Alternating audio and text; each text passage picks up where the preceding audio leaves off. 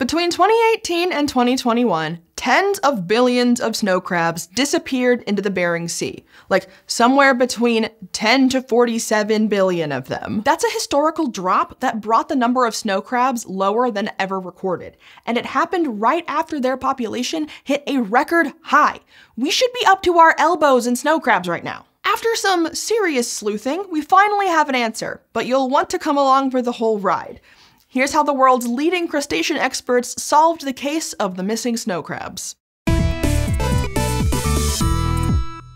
The last time you went to the beach, you probably didn't happen to see any snow crabs wandering the shore. And you wouldn't, because they stow away in the depths of the Bering Sea, where it's so cold that for most of the year, the water freezes over. That makes them hard to get to, which means marine researchers trying to check up on snow crabs can only really do that in the summer when the water is navigable.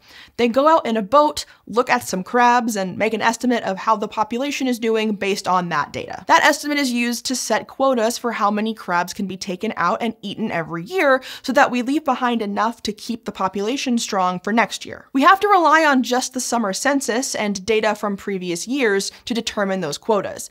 But our window into the life of Alaskan crabs was even more restricted in 2020 because they had to skip the annual crab survey that year due to the whole COVID thing. And really, that shouldn't have been a big deal because in 2018, there was a thriving ecosystem full of more crabs than usual usual. But in the summer of 2021, what they found when they finally returned was devastating. They estimated that billions of crabs were missing. So the researchers became detectives. They needed to figure out why they saw so many extra crabs one year and then a sudden loss of billions of them just two years later. The first question on everyone's minds was whether the count was even accurate. Considering that nobody had eyes on these snow crabs for two years, it seemed possible that the researchers' calculations might have missed a few billion or so. But these studies didn't just look at snow crabs, they looked at other wildlife in the area too. So if the drastically low snow crab count was a mistake, then they probably also would have a drastically low count for other crabs in that area, like tanner crabs. And that's not what they saw at all. Tanner crabs were doing fine. Also, when they went back in the summer of 2022 to sample the snow crabs again, the snow crab population was still in pretty rough shape, so they couldn't chalk this up to error. Although there's one other scenario that would explain the missing crabs without going straight to crab apocalypse. Crabopolis? Uh, the crabs could have moved to Russia. After all, it's right there, and if you like the cold, it's a perfect habitat. So several boats went out and looked for these crabs, both off the coast of Russia and in the northern Bering Sea. And they didn't find the missing crabs hanging out in a new hip spot. So it looked like the crabs probably hadn't traveled to another location after all. Things were looking bleak for the crabs, and the researchers had to consider that they might not be alive anymore. So the new question on everyone's mind was what could have possibly killed that many crabs in such a short amount of time? It seems like the kind of thing that could only be the result of an act of God or maybe an act of cod. See, there are these Pacific cod that love to chow down on snow crabs. So researchers started to question whether a change in cod populations or diet led to the demise of these snow crabs. A study in the journal Science estimated that the cod were eating more crabs around the time of the Great Disappearance than before. So the researchers might have finally gotten a predator on the hook for the Great Snow Crab Massacre. However, other researchers estimated that cod weren't eating any more crabs than usual, so this may not be the slam dunk that it seemed to be. And even if cod were eating more snow crabs, the researchers still questioned whether they were capable of doing so much damage so quickly. Remember, the crab population was larger than usual right before its collapse, so even if the cod were eating more crabs, they probably weren't doing the kind of damage that would make an entire species disappear. And when they gave it more thought, they realized that there was another hole in the cod theory. See, the few crabs that were left post-massacre were mostly small, meaning all of the big ones went missing. And cod tend to eat smaller crabs when they have the choice. They wouldn't have left behind their favorite snack and eaten the cod equivalent of Brussels sprouts. What's even more surprising is that while the crabs didn't migrate, the cod did. A bunch of them moved north where the snow crabs don't hang out as much, and that was enough evidence for the researchers to think the cod probably weren't their smoking gun. So with cod out, they needed another predator to explain the disappearance. And here's where the researchers may have jumped the shark, or in this case, the, the crab. They thought maybe the crabs became cannibals and ate each other. Now, they had ruled out a lot of other explanations by this point, so I could see them getting a little desperate or losing some of their sense in the chase of whoever or whatever caused these crabs to vanish. But as out there as this explanation sounds, it isn't so far fetched. Snow crabs are kind of known to eat each other. So all of the snow crabs in the Bering Sea could have gotten wrapped up in a very literal food fight. It should be easy enough to verify, just look at the crab's stomach contents like they looked at the cod stomachs. But that turns out to be difficult to do when the whole problem you're trying to solve is a lack of crabs. One option is to look to the past, when other scientists had checked out the stomach contents of cannibalistic crabs in history. Yes, these records exist. From those reports, it appears that cannibalistic crabs tend to only indulge once, as in most of them had remains of a single individual in their stomachs. And I mean, are you even a cannibal if you've only done it once? Well, yeah. But more importantly, that means it's not in their nature to suddenly go on a purge and eat every crab they meet.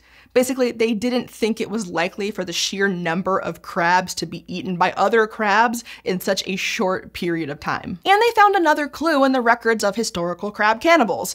Generally, the bigger crabs were the ones making a meal out of the little guys. Since the bigger ones went missing, there probably wasn't a giant cannibal dinner party. Once scientists had ruled out cod and crabs, the next possible culprit was you! Okay, maybe not you specifically, but humans. More specifically, the humans that fish for and eat these snow crabs. As the head investigator put it, overfishing has kept marine researchers up at night. Our love for those delicious crab morsels could have run them out of existence. It could have but it probably didn't this time. In the US and other parts of the world, we've done a lot of work to make fishing more sustainable, so overfishing is much less of a problem than it used to be. And at the time of the snow crab population decline, even accidental bycatch of crabs as people fished for other marine goodies was significantly lower than it had been in the past, which probably means that it's not such an important factor that it would be capable of causing this sharp a decline. So you're off the hook for now. Which put the detectives in a bit of a pickle all of the most likely crab killers had an alibi, and that points to natural causes. Maybe while we were all dealing with COVID on land, the crabs were going through their own pandemic in the ocean. To be clear, nobody's saying that these crabs got literal COVID, but they could have gotten some other infection that they also weren't prepared for. For instance, they could have caught a fatal infectious disease called bitter crab syndrome, and in the past, it's done a real number on snow crabs. Bitter crab syndrome tends to be especially hard on small crabs because they molt more and in that process may become more vulnerable to infection. It doesn't always work that way, but if the researchers expected the small crabs to die in large numbers from bitter crab syndrome, leaving behind only the big, sturdy snow crabs, that's not what happened here. It might have contributed to the population decline, but odds are it didn't work alone. Which brings us to the big reveal. Researchers finally figured out what killed the missing snow crabs. Disease might have contributed, but the main villain in the story isn't an infection at all. It's heat. I mentioned earlier that crabs are more susceptible to infection when they molt and they molt more when it's hot. From 2018 to 2019, there was a marine heat wave. So the number of crabs suffering from this disease may have increased in recent years because the warmer waters led to more infection. But that's just the beginning. This heat wave could have decimated the snow crab population in another even more critical way. If you're anything like the marine detectives, you might be thinking that the answer was in front of your eyes the whole time. Climate change raised the water temperature to be warmer than what this kind of crab can live in.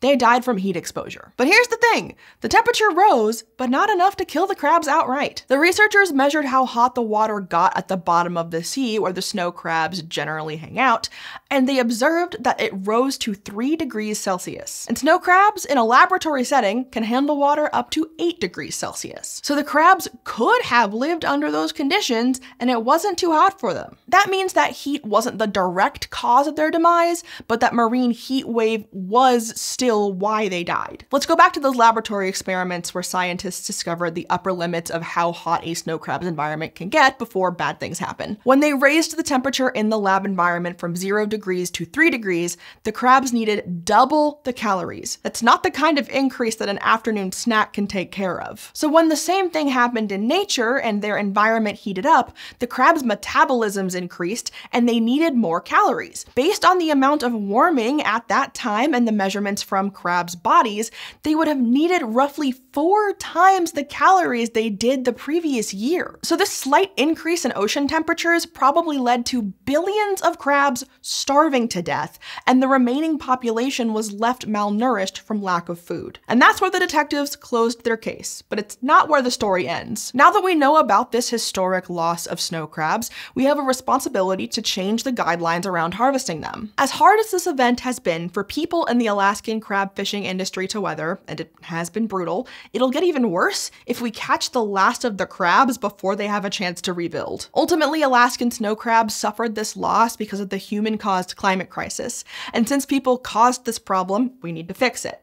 So the crab harvesting season has been drastically limited for the last few years, with hope that the snow crabs may grow their population back to sustainable numbers within about five years. And the experts really do have hope that the crabs can rebuild in that time. Until then, we'll simply have to put our crab bibs aside for regular old napkins, and ditch the tiny forks for normal sized ones, even if they aren't as much fun.